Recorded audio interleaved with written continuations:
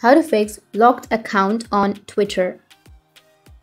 So if you want to fix your locked account on Twitter or X, then what you need to do is first you need to open up your X application and you may get that this account is logged and everything. But if you don't get that option, then you just need to simply go back and you need to open up your browser.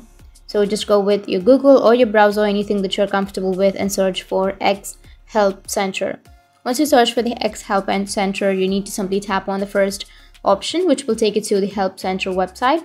Now you need to simply scroll down and tap on Help with logged or Limited Account.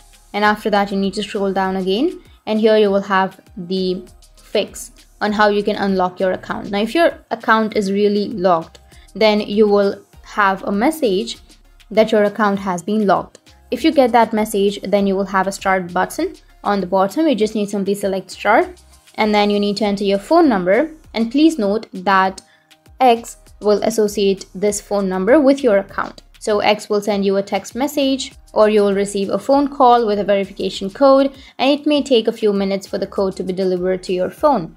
Once you've entered the verification code, click on tap and then submit to unlock your account.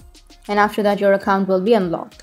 So that's how you can unlock your account or that's how you can fix your locked account on your X. And if you have any questions, feel free to comment below. Thanks for watching.